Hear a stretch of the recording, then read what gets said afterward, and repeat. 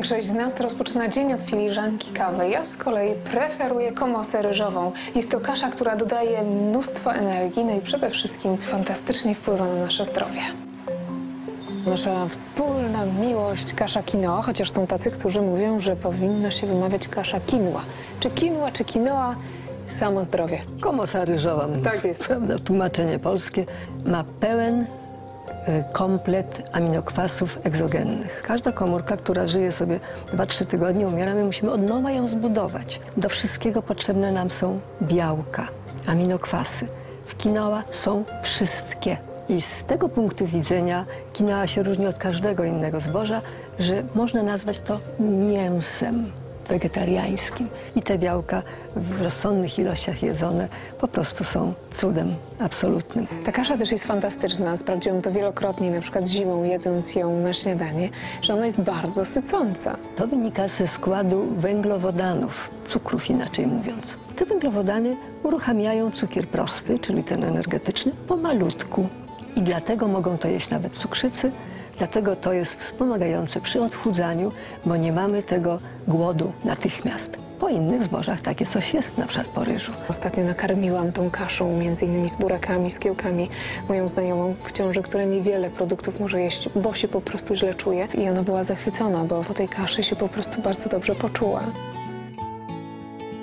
W kaszy quinoa są fitoestrogeny. Naturalne, roślinne produkty estrogenowe, podobne jakie my, kobiety, mamy. I to dlatego ta ciężarna osoba poczuła się lepiej, by dostała taki zastrzyk estrogenowy naturalny. Poza tym w kaszy jest witamina E. A co to jest? To jest witamina płciowa. Więc kobieta ciężarna naprawdę lepiej się musi czuć przy takim produkcie. Kasza quinoa może nawet zastąpić terapię zastępczą hormonami syntetycznymi, które jak wiadomo prasy mają nie najlepszą. Czy często możemy sięgać po komosę ryżową?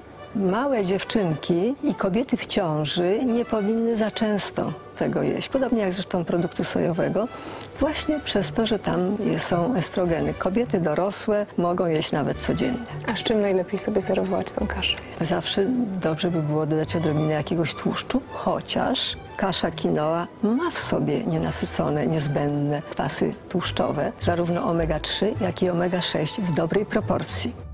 Osobiście kaszę quinoa używam właściwie do wielu potraw, na przykład na ostro z warzywami na śniadanie i z przyprawami takimi jak kurkuma. Fantastycznie sprawdza się na przykład jako dodatek do zupy pomidorowej na obiad i na deser. Komosa ryżowa na przykład z sokiem malinowym, z drzemem zaroni albo z miodem.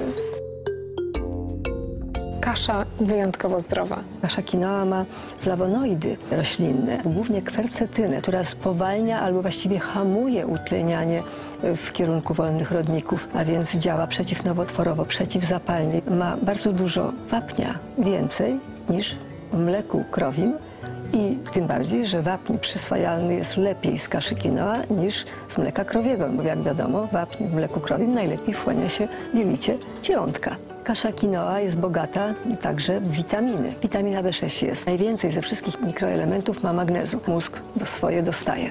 Nienasycone kwasy tłuszczowe, właściwie główny budulec mózgu. Białka są. Błonnik, w przeważającej części błonnik rozpuszczalny, a więc działający przeciwmiażdżycowo i regulujący poziom cukru i wrażliwość receptorów insulinowych w komórkach. Czyli to jest taka kasza cud.